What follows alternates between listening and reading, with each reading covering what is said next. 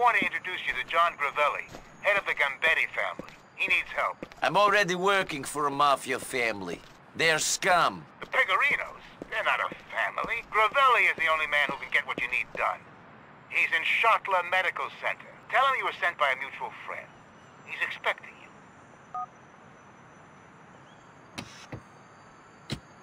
Thank you, Bryce Dawkins. I hope the cash for this didn't come out of city funds.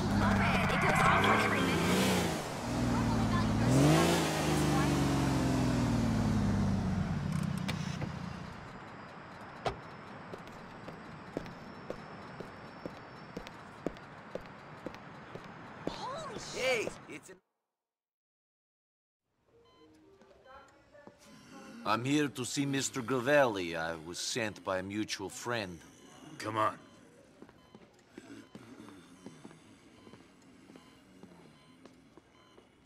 Uh, someone here to see you. Yeah.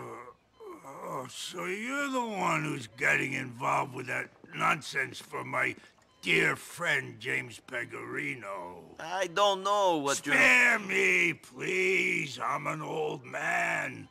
I ain't got much time left. Our mutual friend told me everything. Thank you. It made me My pleasure.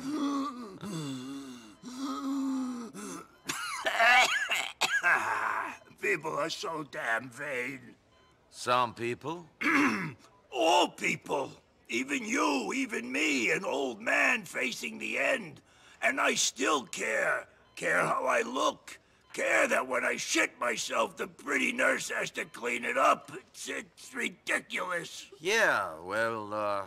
You know... And I care about my legacy.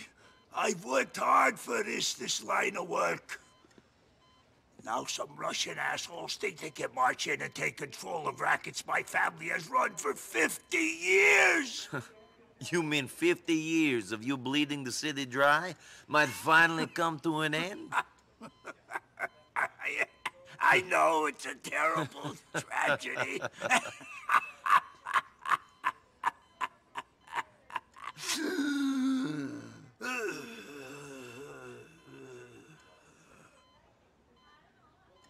But if it wasn't me, it would just be someone else. So it might as well be me. Yes. Let me tell you, that faggot friend of yours, Bernie Crane, his boyfriend, he's being blackmailed by them damn Russians. They want him to put certain contracts up for tender. Windows, bus lines, cleaning, ones we control. These Russian fucking bastards are trying to finish us. What do you want me to do about it? I want you to work with me. In exchange for what? The police have a file on you an inch thick. In exchange for that. In exchange for that guy you've been asking about being brought here from wherever it is he's hiding, Switzerland or some shit. Okay. Good. What do you want me to do? A good friend of mine is coming into town to give a speech on the new threat to Liberty City. Russian organized crime. I got a feeling some people ain't gonna want that speech to happen. Maybe the guy you love, this Dimitri Rascalov, has an interest in keeping the story out of the press.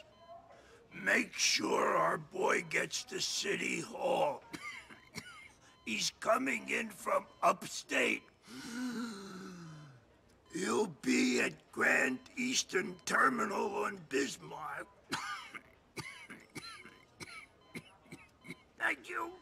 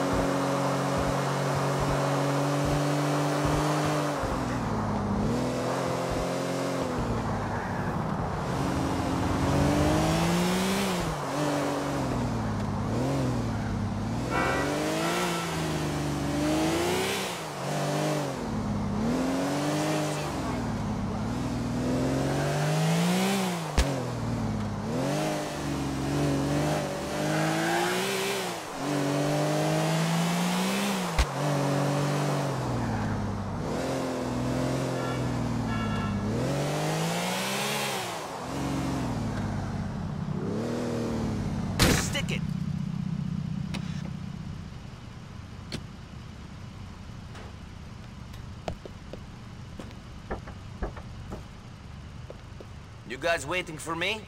Nico Bellic, right? Yeah, that's me. Stay in convoy with us all the way to City Hall, all right? Sure.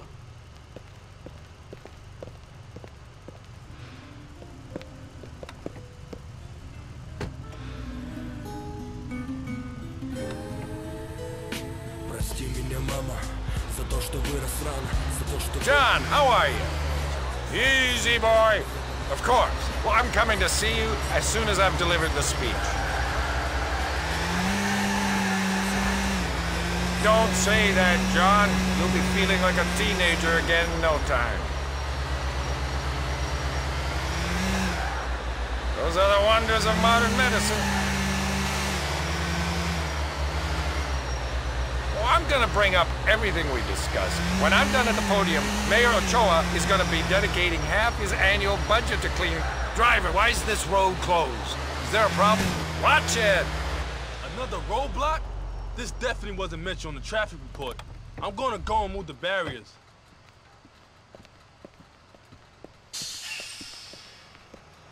Come on, Mr. Jefferson. Let's get out of here.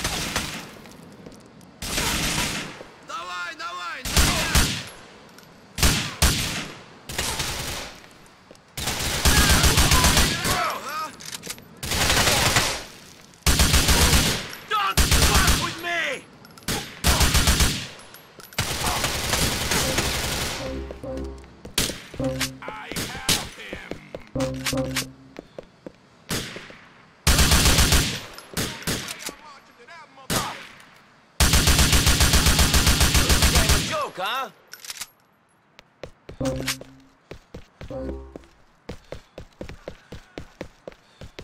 It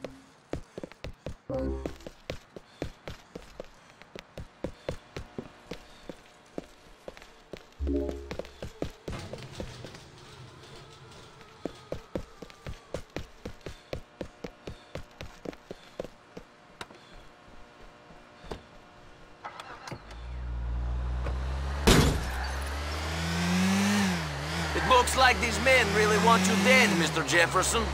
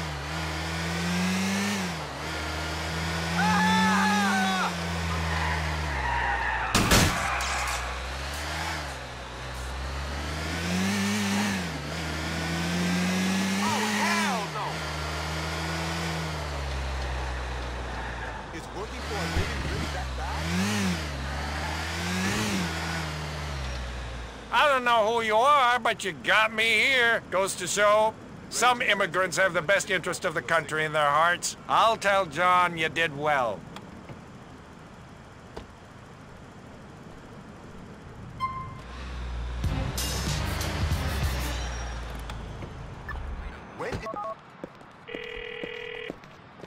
Sorry, sir. Mr. Gravelli, I took that friend of yours to City Hall. He should be giving a speech any minute. You did good. Heard you had some trouble along the way. You can always rely on those Russians to try something. How are we supposed to compete with these immigrant criminals when they want it so bad. You're working with me, aren't you, Mr. Gravelli? See you later.